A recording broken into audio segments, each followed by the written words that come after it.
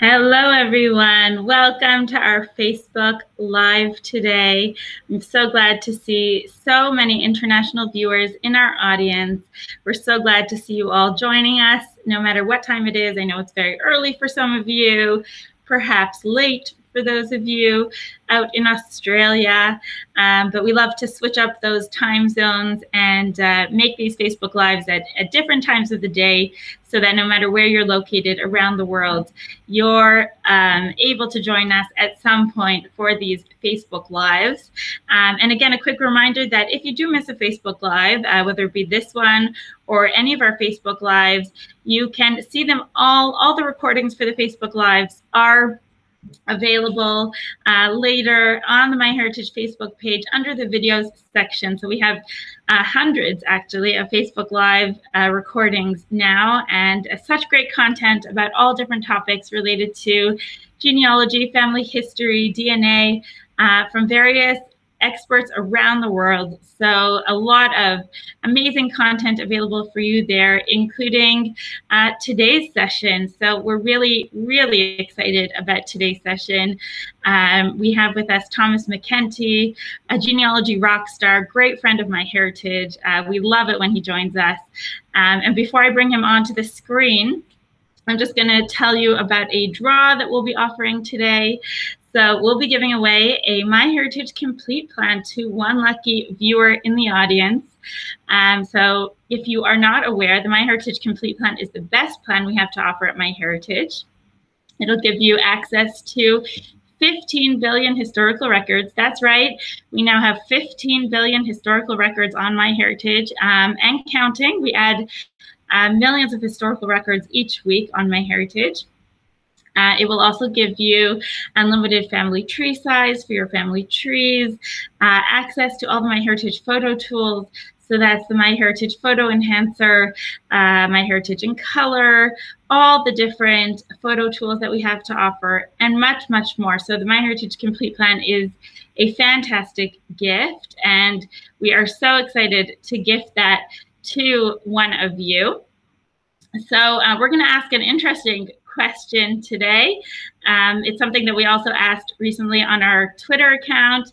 Uh, we want to know what is the best kept family secret that you uncovered by doing genealogy in your family.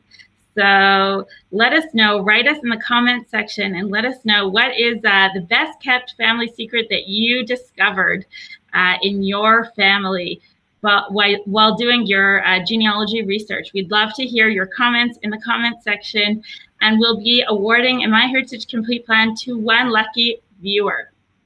So good luck to everyone. Um, and of course, throughout the session, please feel free to add your comments, your questions. We love hearing from you throughout the session. That's what makes these Facebook Lives so interactive and so fun. So please don't hesitate to write in the comment section or jot down a question that you may have throughout the session for Thomas. So uh, today we'll be talking about seeing your ancestors in historical context. And uh, let me add him to the screen. There we go. Hello, Thomas. Hey, Esther, how are you? I'm doing well. How are you? Doing well. Uh, the the cool weather is starting to set in here. It's you know getting into the point where I need to wear pants instead of shorts, and you know the summer's over. It's over. That well, gearing up for the yeah. holidays now, I guess. yeah, yeah, and I think you know with shipping and everything, I th I think that Black Friday is going to be in October this year, and if you really want something for Hanukkah or Christmas, you better order it now. Great so, advice. Great advice. Yeah. Okay, so are we ready? Yeah, that would be great. Oh, and I, um, just a reminder to everyone in the audience, we will be posting a link to Thomas's handout as well. So we'll be posting that in a few moments. Mm-hmm. Okay. Okay, so make sure that I can do this. All right, I'm not sharing now. Not correct? yet. Okay. Yeah, it's not going to. Hmm. Okay. Oh, there it is. Sorry. No problem. Hold on. Uh, let's see if I can find it. Ah. We can we can just stop that and try it again if you'd like. That yeah, I, I, had to I had to remove the source, and that's no what problem. it was. Yeah, sorry about that. No you know, problem. You, you, figure this out eventually, so hold on a minute, and then uh, you should be seeing my slides right now. Correct? Perfect. Let me bring them okay. up so everyone can see. And there we go. So feel free to take it away. Great. I really appreciate it. And welcome, everyone. Uh, I'm Thomas MacEntee from Chicago, where many are cold, but few are frozen. Uh, I really, this is a brand new lecture for me, and I want to thank Esther for uh, suggesting it. Uh, this is one that I always wanted to add to my list of over 60 lectures. And uh, yeah, it's really interesting. So, what is this thing about historical and social context?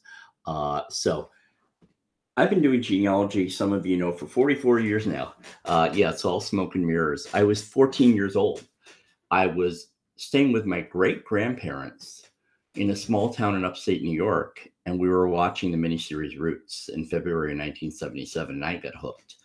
And uh, so I've done a lot of research on my own families. And you know, you get the birth date, you get the death date, maybe you get a few facts, but what else is in that dash?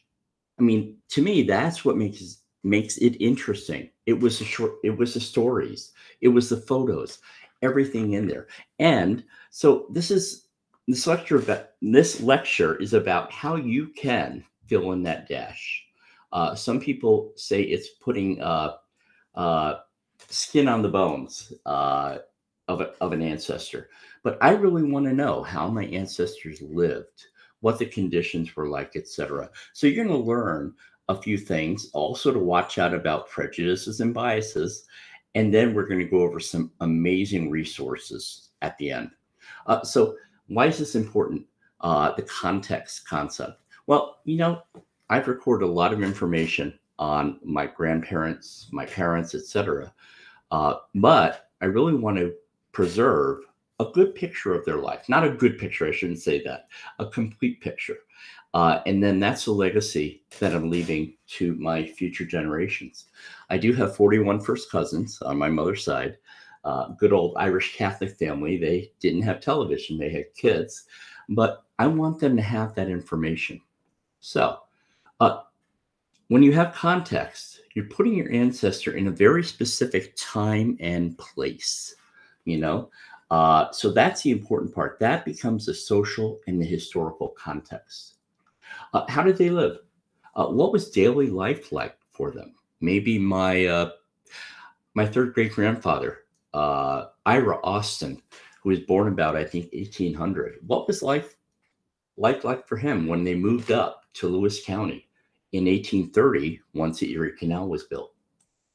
And what was the quality quality of life? What constituted uh, maybe middle class, upper class, lower class? I mean, you can't use t- today's parameters for that. Also, I want to know how much did they spend on food? Uh, that whole historical money thing intrigues me. When I see a diary saying, you know, 1900, oh, we paid so much for a dozen eggs I immediately am going to a calculator and figuring out what that price was today, because that I can relate to.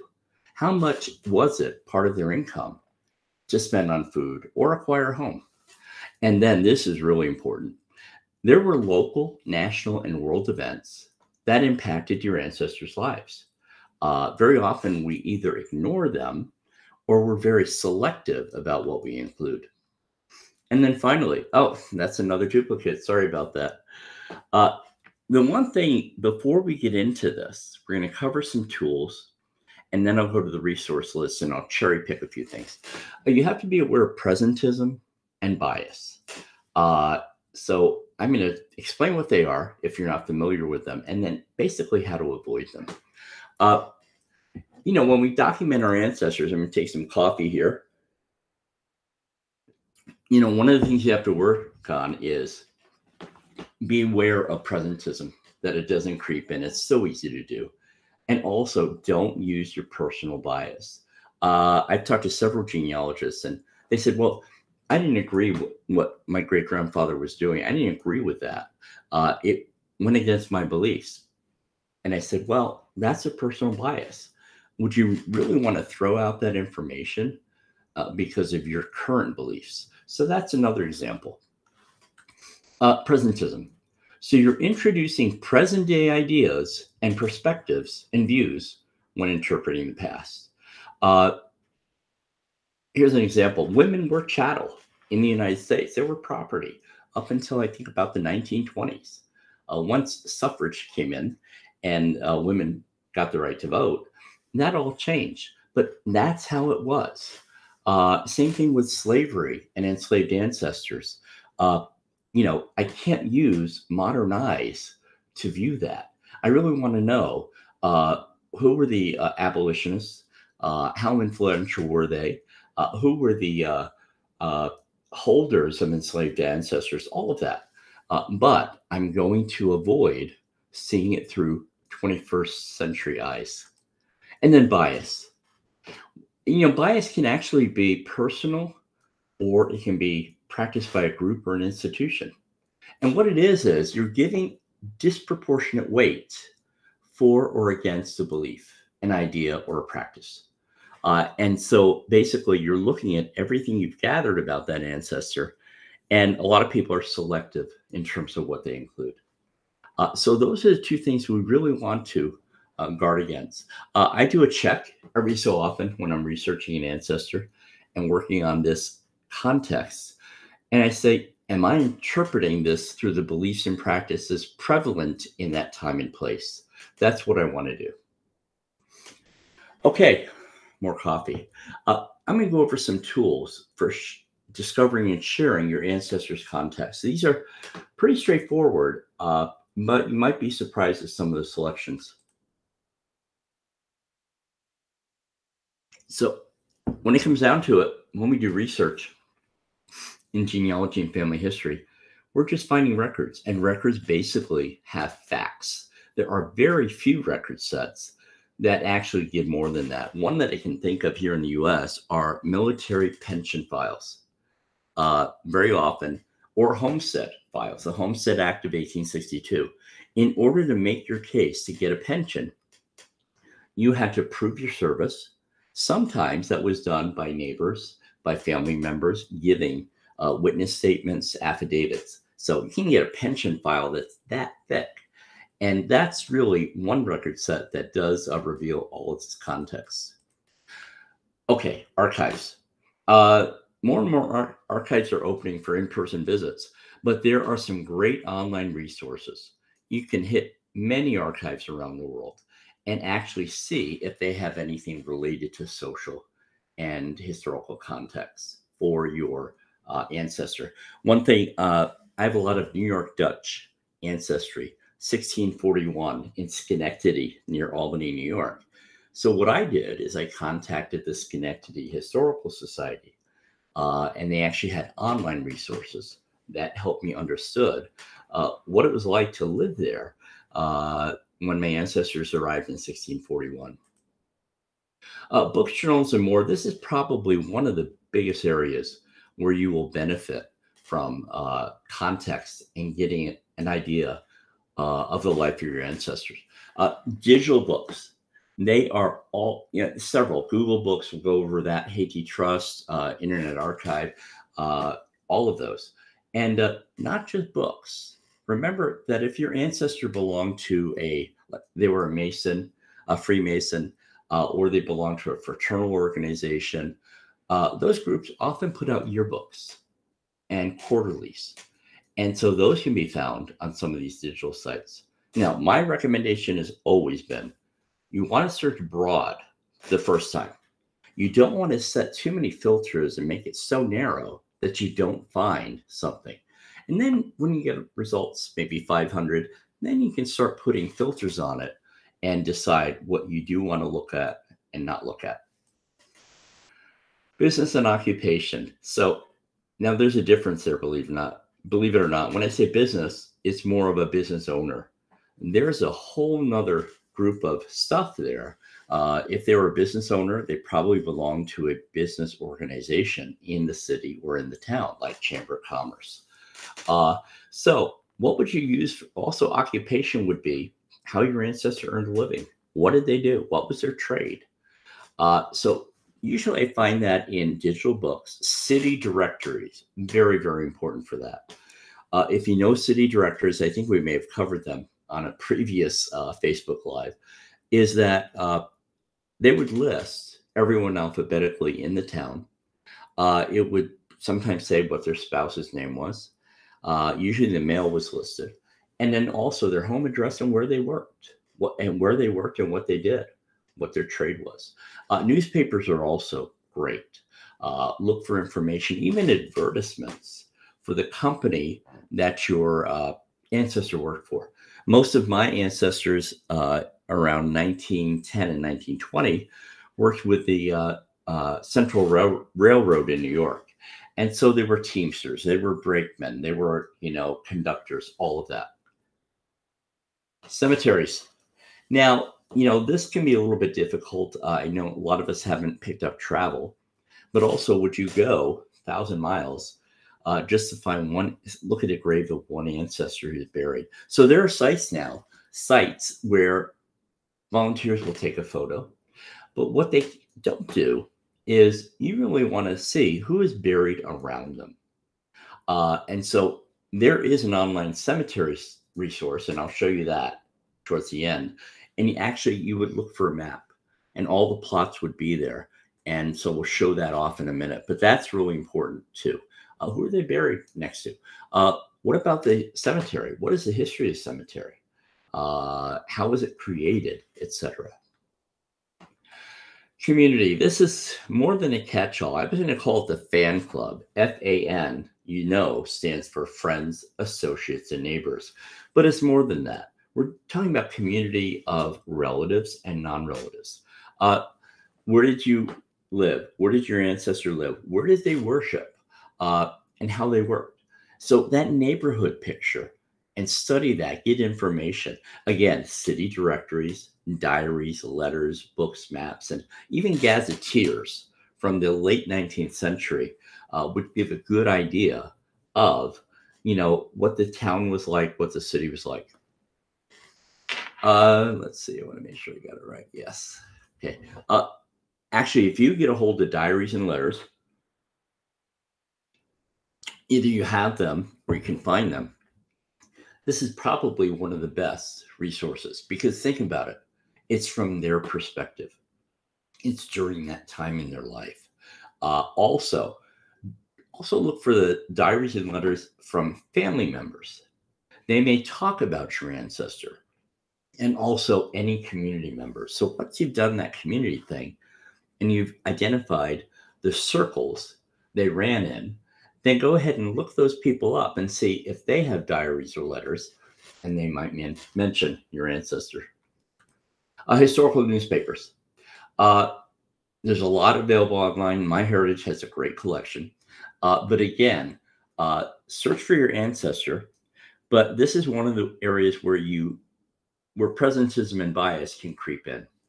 Uh, keep in mind here in the United States, before radio, in the mid 20s or late 1920s, the main enter- entertainment was newspapers.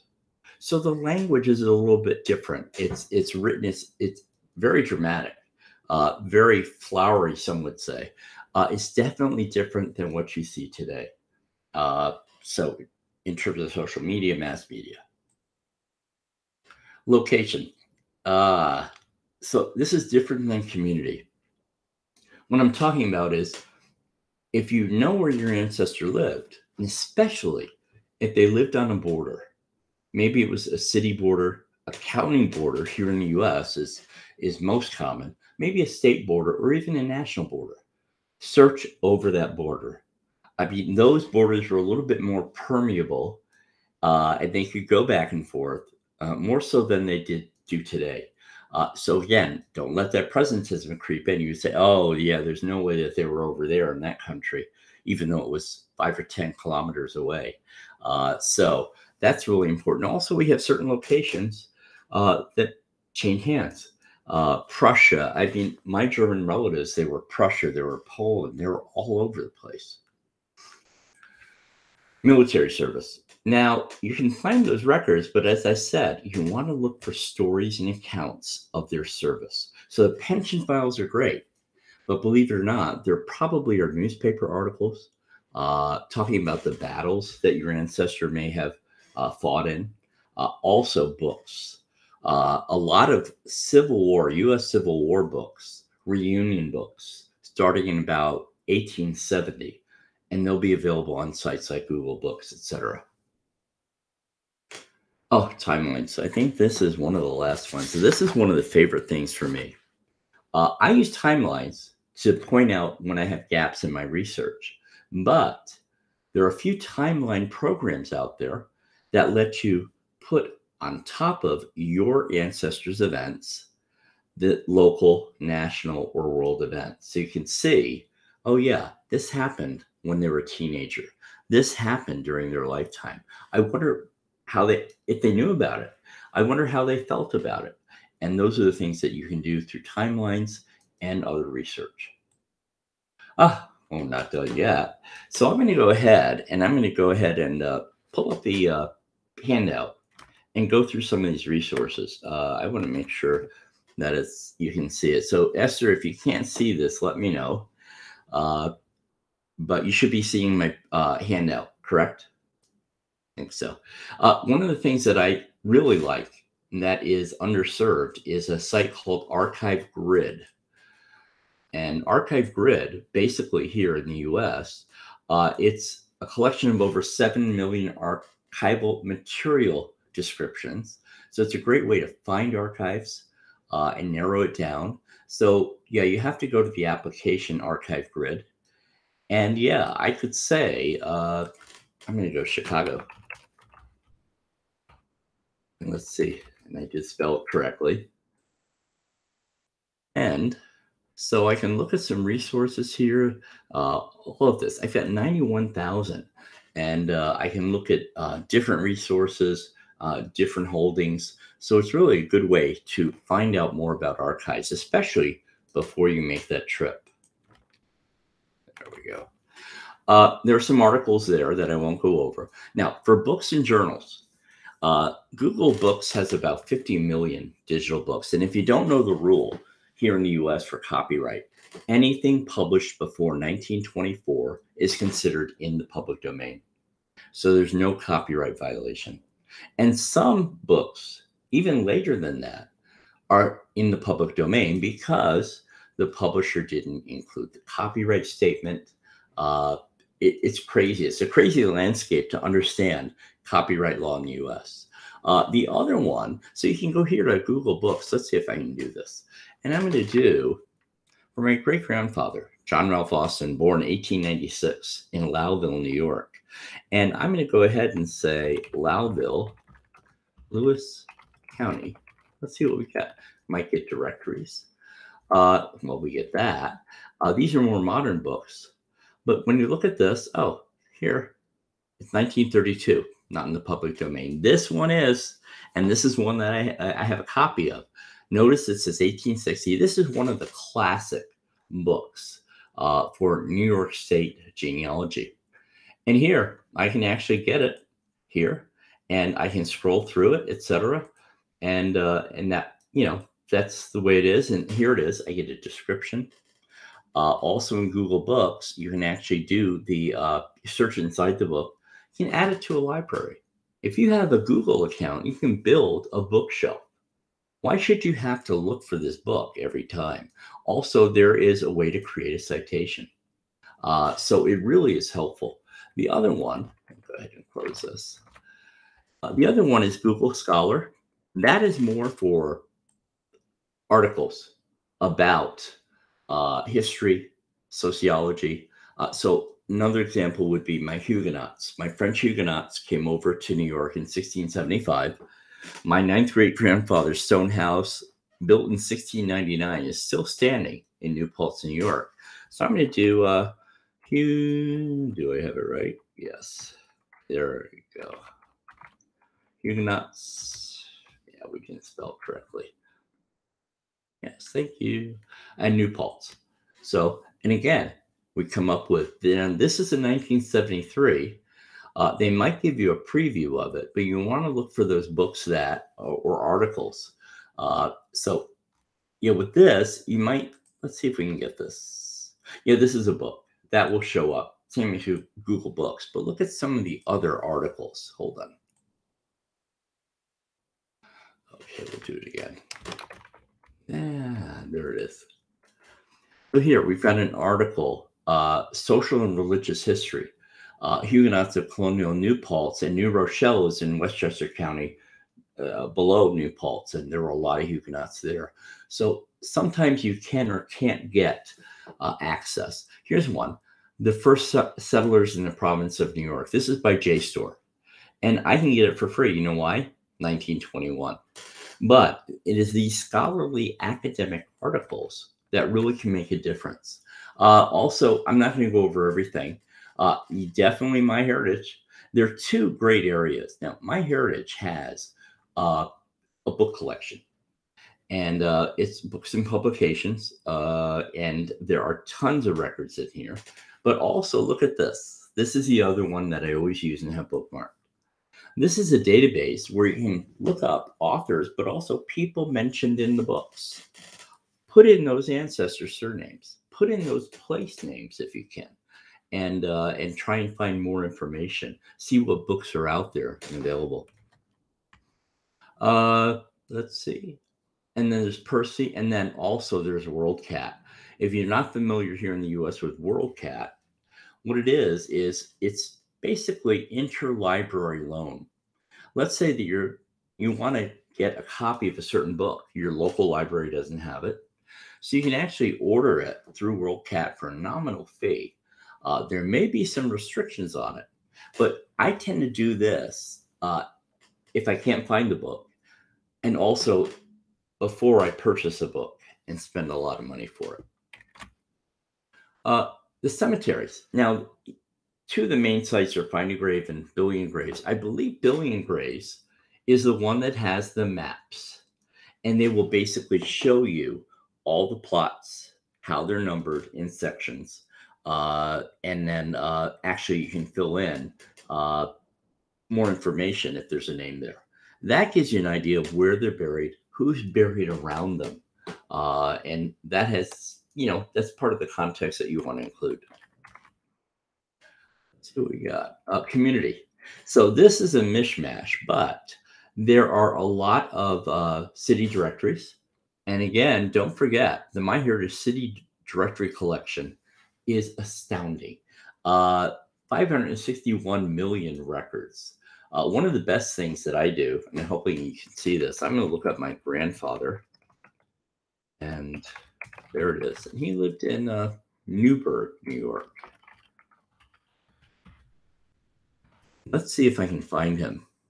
Let me go ahead and search. Oh, there he is. Now, uh, so he was living at 358 Broadway. But look at this. This, I love this feature. I can see who else lived at, at that address before or after my grandfather and grandmother. Uh, that's a big one. Uh, so you want to definitely want to know that. Uh, how did they come to live there? Is it a rental? Is it a home, etc. But uh, MyHeritage, that's a great part of uh, doing the community work. Uh, here we go, Internet Archive Library, MyHeritage City Directories. Uh, and then don't forget, you're going to think this is crazy uh, real estate listings. Uh, my family built a house in the Bronx, New York in 1920. And I know the address 2482 Elm Place. Well, I had it set up as a Google alert. And guess what? The house came up for sale.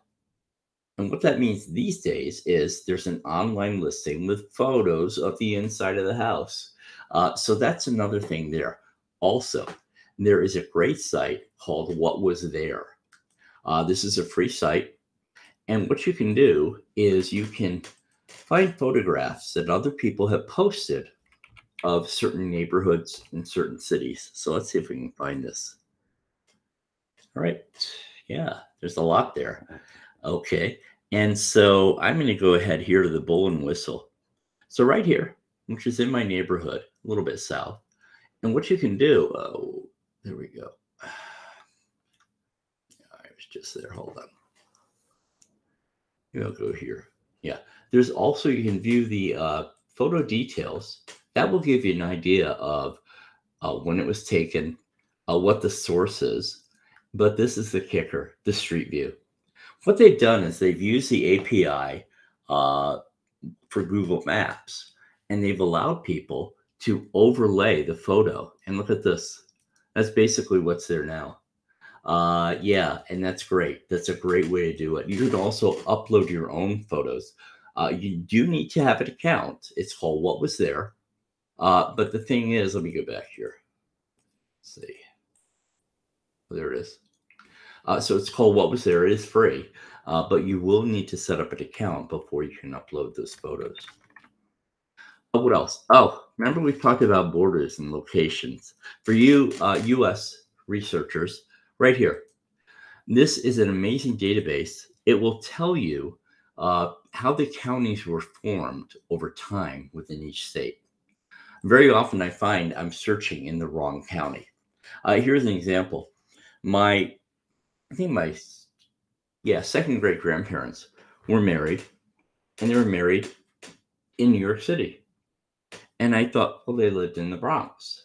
They're married in February of 1912. And guess what? We go to the Bronx.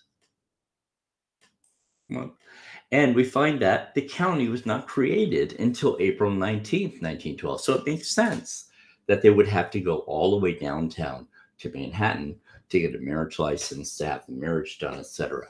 So this really keeps you on track, at least for U.S. county borders, uh, a way to do that. Let's see. Military, uh, amazing collection at MyHeritage of military records. Uh, and basically, yeah, just a lot. And uh, while they may not give you the context that you need, uh, it's a start. Uh, you find out uh, when your ancestor was in the military, if they were involved in any battles or engagements, etc. newspapers yeah, this is probably one of the, my favorite areas of research. What I have for you here are amazing newspaper resources. And uh, this is the other one that is brand new that I've just been using. It's a new, new, new database, uh, almost a billion records. So basically, it's a name index from a lot of these free access US and Canadian newspaper collections. So that's what you want to do. Again, remember, we're going to go broad when we research. So if I wanted to, I could do John Austin. Uh, and I could say, oh, maybe I'll do Ralph. That's what he went by. And then my grandmother's name, my great grandmother's name. And she was McGinnis. But I'm going to leave that out. That might be a little bit too narrow. And uh, residence was in New York. And then I can go ahead and do my search and get more information. And ay, ay, ay, yes, here's a little story. Uh, and, you know, now this is not the one. I know this is not a relative, but I would work my way all through this and try and find out is this my Ralph Austin? Uh, abstracts, online historical newspapers, uh, one i'll go over timelines in a minute i do want to oh that's not the one i put in the wrong link there is a group called the american historical association and probably it's best to just look for them on google. Uh, and they have societies. They call them affiliates. What it is, it, they uh, give you a whole list of uh, all of the historical societies in the U.S. Uh, so that's really uh, a good way to get started. And then you could look at their online site or go for a visit. Finally, TimeToast. TimeToast is a free timeline program. Uh, so I'm going to go ahead and look at my dashboard. It's very easy to create timelines here. Uh, I have a, tons of timelines. Uh, so on a lot of things and cases, and one of the best ones I have here is my Henneberg line. Uh, Gustav Hindenburg came over from Germany in 1891. And see, I start building his timeline. Uh, it's very easy to, you put in the date, put in the heading. You can even look at this. So in June 5th, 1917, that would have been the first draft of World War One for US citizens. And he filled out a card and it said he was working as a driver for Jay Smith at 62 Teller Avenue, Bronx, New York. Also, look at what a good boy I am. I have my source citation. Uh, and you upload the photo. The photo may not be very clear. Oh, there's a better, better one.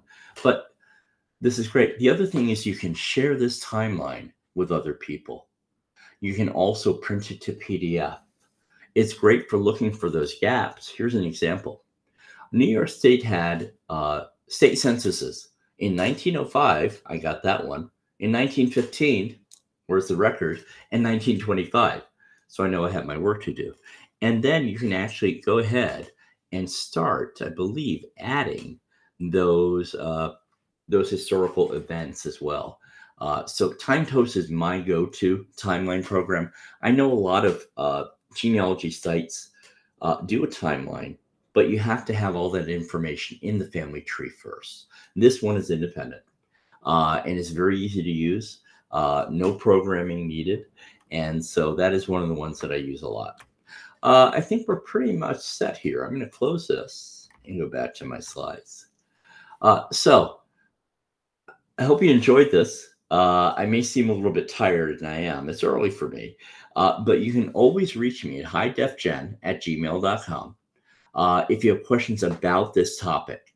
Uh, keep in mind that I get about three or 400 emails a day. And so it may take me two days to get back to you. So, Esther, how was that?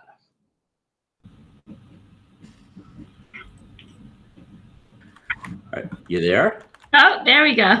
okay, yeah, yeah. I, saw, I, I stopped by share, so I turned everything over to you. Great, great. No, that was fantastic. Um, I see Teresa wrote here some of these I never heard of. Thank you for sharing all of this. Um, and a lot of comments here about people who haven't heard. I, you always bring in all these resources that people aren't aware of, and they're just so helpful. I, I yeah. love. Um, and I love that uh, what was here site. What was there? What was there? Yeah. yeah, it's similar to History Pin. History Pin is from the UK, and they came out first. Uh, and also look for collections uh, History Pin will have a World War One collection, and so they'll have photos and stories. So yeah, yeah. Wow. And uh, Renee said that is a lot of emails, and and I agree. And and answering three to four hundred emails within two days sounds amazing. well, it, it, a lot of them are junk, and a lot of them don't need responding to. So I try and run a triage every morning when I wake up. So yeah. Wow. Okay. Well, we do have a couple questions, if you don't mind, uh, that we'll take. And anyone who hasn't put a question in, if you have any for Thomas, please let us know. Um, so let's see. Uh, Renee said, um, "Does MyHeritage have books that were published after 1924?" I don't think so, because that would violate copyright here in the U.S. Now, one thing you can do. Remember, I showed you Google Books on some books, the author will allow a preview. The preview might be 10 pages, but it might be those 10 pages you need. See what I'm saying? So always look through the listings. If it says uh, you must purchase or not available, then they're not providing it all. No, I don't think that MyHeritage has any that are after 1924. Okay, uh, we have a question here from um, Joan, she asks, is billion graves only for the U.S.? Uh, I don't think so. Let's go into. I'm going to go ahead and uh, share my screen again, if that's okay. Sure. Yeah. Yeah, and let me go ahead here and do billion graves. I know I have an account, but the best thing is, yeah, there it is, uh, is to look at their about and uh, hmm, uh, about us yeah, I believe it's worldwide. Yeah, worldwide. Uh, so that's what it is. I remember when they started. I I know some of the team that started this up, uh, and it's not quite like Find a Grave. Uh, they have a better app. Uh, and you know they have a whole community that they built up. There's also something called Billion Graves Plus, which is a subscription uh, for their site. But uh, Billion Graves is it is worldwide. Great. Okay. Um, let's see. Beverly asks, does MyHeritage have a lot of Canadian records? Yeah, I think so, relatively. I mean, they may not have as many as the Library and Archives of Canada, but no, they do. And and one bias that I do know on this presentation, it's very U.S. centric, uh, and that was not necessarily on purpose, but that's where most of my research I'm familiar with. Uh, so, like the Atlas of Historical County Boundaries, if you're looking in the UK, look for something similar. Uh, and so you have to do a Google search, say, you know, how do I determine when uh, an area's borders were defined? So. Okay, we have a question here yeah. from Ellen, and she says, Can you search for an address in city directories? Would love to know who lived in the house before my grandparents. See, this is why I can only do it on MyHeritage because MyHeritage is smart enough to index the address. So that means you can search on it. Remember that feature, who else lived at this address? Now, the other thing is you could go out to Google and put in the address and then the word city directory and see what you find. Yeah. Okay, great. Uh, that's very useful. That. Yeah, yeah, yeah. Amazing. Um, let's see. I think that's it for the question. Okay. Okay. Oh, let's so draw get, for a prize. Let's draw yeah, Yeah. My favorite part. My favorite part of the whole of the so, session. So what was it? They they had to disclose a family secret that they discovered. Yeah, and we, you know, oh, we okay. received some really, really great ones. Um, I'll read a few of the runners up. okay, okay, sure.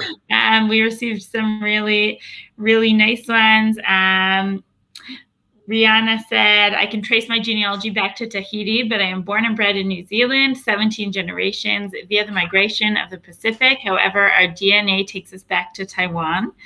So I guess that was a surprise for um, for her and her family. Let's see. We uh, we received some really nice ones. Um, well, so, I, one, I do have one. let's hear. Well, it, my great grandparents, salt of the earth, conservative as can be, helped raise me.